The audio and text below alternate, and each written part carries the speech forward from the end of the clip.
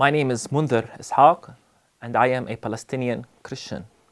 I am the pastor of the Evangelical Lutheran Christmas Church, and I am also the academic dean at Bethlehem Bible College.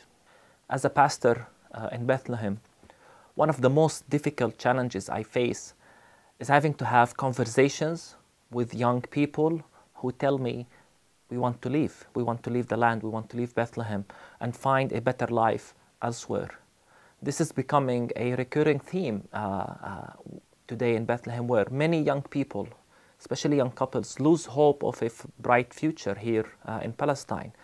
The challenges of the occupation, uh, living behind the wall with restriction of movements, with our land being confiscated, sometimes even the shortage of water is a challenge.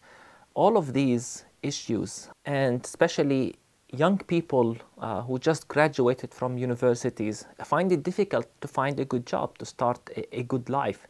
And as a result, many uh, of our bright uh, people are leaving.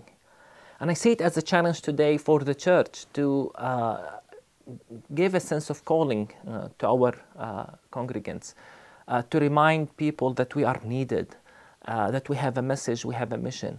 Uh, and even though um, life elsewhere could be easier, and from a human perspective, it's hard to convince people to stay because things are difficult. Life under occupation is not easy.